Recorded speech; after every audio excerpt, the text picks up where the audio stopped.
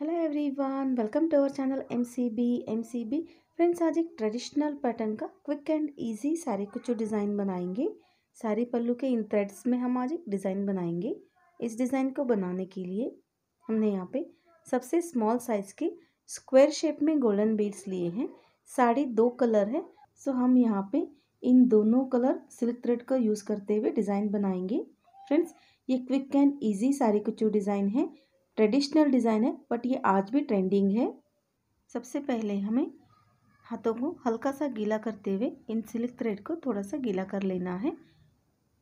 और अब नेक्स्ट हमें इस कोम की मदद से इन सिल्क थ्रेड को नीट कर लेना है। दो मिनट ड्राई होने के लिए छोड़ देना। फ्रेंड्स हमें यहाँ पे पल्लू के रॉन्ग साइड से वर्क को स्टार्ट करना है। नेक्स्ट हमें इस टेप और मार्कर की मदद से पल्लू के ऊपर एवरी हाफ़ इंच के डिस्टेंस पे मार्क करना है। उसके बाद नेक्स्ट हमें किसी भी बिग साइज़ का नीडल लेना है। हमने यहाँ पे क्रोशा लिया है।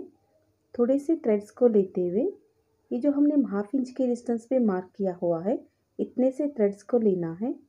बाकी के थ्रेड्स साइड कर देंगे।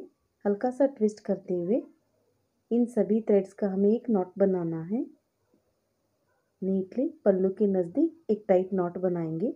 फिर से हमें थोड़े से थ्रेड्स को नीट करते हुए हाफ़ इंच के डिस्टेंस में जितने थ्रेड्स हैं, उतने ही थ्रेड्स को लेने हैं। हल्का सा ट्विस्ट करते हुए पल्लू के नज़दीक एक टाइट नॉट बनाना है। फ्रेंड्स हमें यहाँ पे इन नॉट्स को बनाते वक्त पल्लू बिल्कुल भी फोल्ड नहीं होना है। इस तरीके से हमें नीटली नॉट बनाने हैं। ये देख सकते हैं हमने यहाँ पे पल्लू के नज़दीक एक टाइट नॉट बना लिया है। इसी तरीके से हमें एवरी हाफ़ इंच के डिस्टेंस पे नॉट्स बनाते हुए फ़र्स्ट स्टेप कंप्लीट कर लेना है। फ्रेंड्स फ़र्स्ट स्टेप कंप्लीट होने के बाद नेक्स्ट हमें नॉर्मल नीडल में two strands of cotton thread लेके एक नॉट डाल लेना है। हमें यहाँ पे उतना ही थ्रेड लेना है जितने हमारे इस थ्रेड में थ्री फिंगर्स पास हो सके। उसके बाद इन थ्रेड्स को हमें नीडल में पास करते हुए एक स्मॉल साइज़ का गोल्डन बीड इस नीडल में इंसर्ट करने के बाद इन थ्रेड्स में पास कर लेंगे। फिर से हमें इस नीडल को इन थ्रेड्स में से पास कर लेना है। नेक्स्ट हमें इस नेडल में एक स्मॉल साइज़ का गोल्डन बीड इंसर्ट करते हुए इन थ्रेड्स में से पास कर देंगे। ये बीड्स को इंसर्ट करने का बहुत ही इजी मेथड है। फ्रेंड्स, हमने यहाँ पे सबसे स्मॉल साइज़ के गोल्डन बीड्स यूज़ किए हैं। इनके बदले में आप यहाँ पे किसी भी साइज़ के बीड्स, क्रिस्टल्स या फिर पर्ल्स भी यूज़ करते हुए इस डिज़ाइन को बना सकते हैं। इसी तरीके से हमें सभी थ्रेड्स में बीड्स ऐड कर लिए हैं।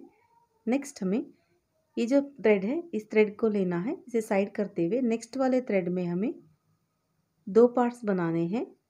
इन बाकी सभी थ्रेड्स को साइड कर देंगे। सेकेंड वाला पार्ट छोड़ के, इन दोनों पार्ट्स को मिलाते हुए हल्का सा ट्विस्ट करके, थोड़े से डिस्टेंस लगभग हाफ़ इंच के डिस्टेंस में इन दोनों थ्रेड्स को मिलाते हुए हमें यहाँ पे एक नॉट बनाना है।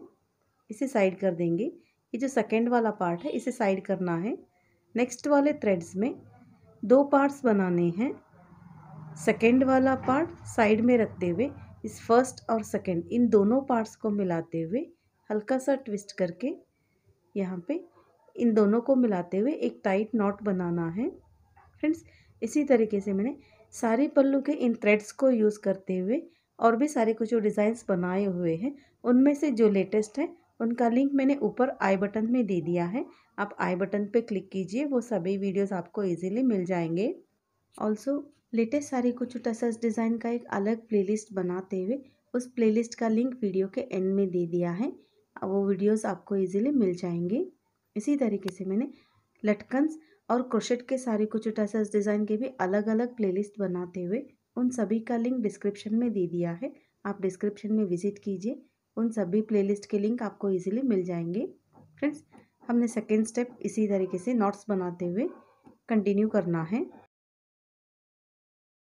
सेकेंड स्टेप हमने कंप्लीट कर लिया है। नेक्स्ट हमें ये जो थ्रेड्स हैं, इन थ्रेड्स को इस नीडल में पास करते हुए एक बीड इंसर्ट कर लेना है और इन थ्रेड्स में पास कर देना है। फिर से हमें इस नेक्स्ट वाले थ्रेड में इस नीडल को पास कर लेना है। और इसमें हमें एक स्मॉल साइज़ का बीड इंसर्ट करते हुए इन थ्रेड्स में पास कर देंगे। नेक्स्ट हमें इसी तरीके से सेकेंड लाइन के एवरी थ्रेड में एक एक बीड नीडल की मदद से पास कर लेना है। फ्रेंड्स हमने सभी बीड्स को पास कर लिया है। थर्ड लाइन में हमें ये जो थ्रेड है, इस थ्रेड को और इसके नेक्स्ट वाले थ्रेड को, इन दोनों को मिलाते हुए हल्का सा ट्विस्ट करके इन बीड्स के नज़दीक यहाँ पे एक नॉट बनाना है। इसे हम साइड कर देंगे।